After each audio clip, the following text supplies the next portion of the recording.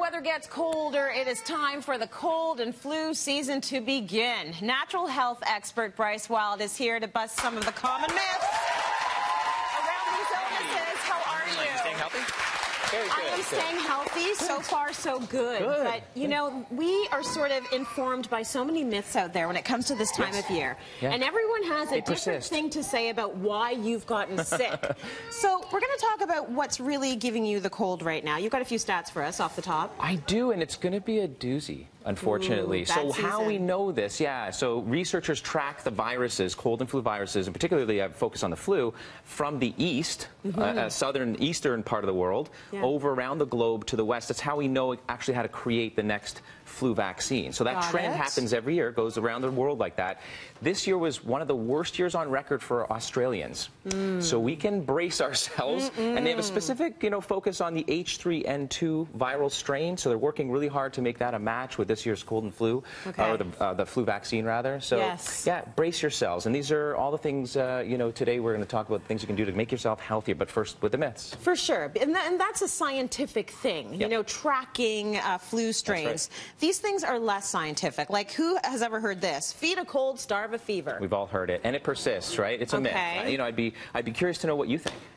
I'm not really sure. I don't. sure? I, I, I think I don't believe most of the myths. Yeah. I would say that this is a myth. So it, it is a myth, It's a right? myth. So you know, and it's and it's just gone on for hundreds of years. So Right. here's the deal: trust your intuition, Yes. right? If you're hungry, eat, but don't eat a massive meal, Yeah. right? Yeah. So whether it's a flu or cold, typically if you have a true bona fide flu, and you know you do, Right. Mm. it's that deep, achy, bory pain with high fever. You know, if you're starting to feel like you have an appetite, you're probably on your road to recovery. That's right. Now here's what you do want to avoid, though, Uh-huh. and that's dairy.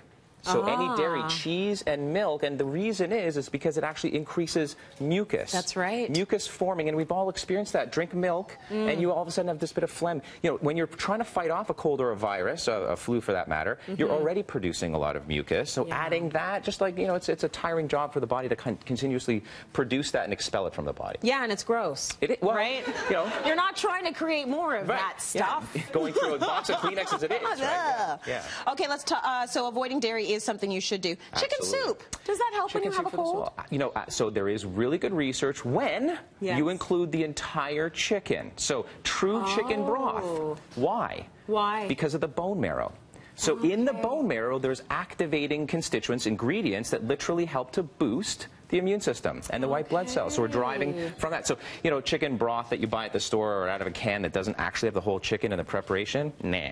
Uh, But here's how you boost this, by the way. Mm. Yeah. Add turmeric to your chicken soup. This is like the cure-all. That is. man. It's an anti-inflammatory, So anti-inflammatory immune boosting. So to your chicken That's soup, add either fresh turmeric or uh, powdered turmeric, and you're on your uh, way to a speedier recovery. Equally as good as the fresh stuff. Yeah, in my opinion, if you It's get okay? the, if you get the organic stuff, absolutely it is. And you know, Okay. you, or again, this is a really beautiful flavor. People aren't used to doing this, but you can find this more and more now at your, your grocery store Oh, in the fresh produce section. Grate it up, put it in. Then you'd want to strain out mm-hmm. the you know the turmeric's a little bit of a pungent flavor if you left it in there. But the active ingredients, curcumin, by the way, is the active ingredient, Yeah. will get into the soup, and that will speed up recovery. So good for you. Yep.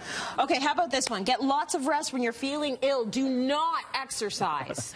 People So- say this all the time. Like, Right. you need to slow down. You're sick. Do not work out. It's, it's a bit of both. It's a bit of a myth, and here's why. And again, it's intuition, so listen to your body. So Mm-hmm. Yeah. when you have a bona fide flu, I don't want you going out there, no one does. Yeah. I want you going out there and running a marathon, obviously, or Right. hitting the gym. It's not a good thing. In you fact, mostly wouldn't even be able to. No, right. You know, so because if you have a flu, like Right. your body is actually hurting you. Right. You want to rest. You do want so again, so you're not lifting weights, but if it's a cold, right, or a mild, you know, you're recovering from the flu, go Yeah. out for that walk. You know, go out for do what you feel you're able to do. Now, increasing heat too much, especially when you have a fever, is never a good thing. Right. So obviously check your temperature. If it's become normal, then you want to do some of that, you know, yoga, stretching, Pilates, walking. Yes. That actually will help to pump the lymph, which is Uh-huh. within our muscles, surrounding our, and the muscles, that's the only way your lymph actually move, and that will expel the garbage Yes. after that sort of post-viral recovery mode. That will expel and again speed up healing time. I So agree with that 100%. Listen to your body. Yeah. I say neck up, I'm okay to work out. If it's down here, maybe not. easy. Yeah, Good, good, I'm going to take it easy. Yep. Uh, cover your mouth with your hand when you cough. So we can't get enough of this one. This is absolute, you know, it, it, so do not do it,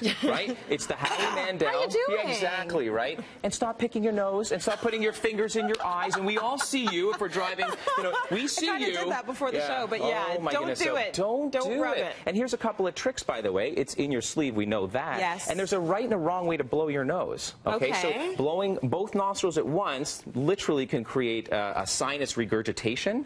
so that's not good. So one nostril at a time. And I think most people realize, yeah, that's actually probably what I do do. Yeah. Otherwise, you're really oh, Okay. pushing that bacteria up into your sinus cavity. I think I might have been doing it the wrong way.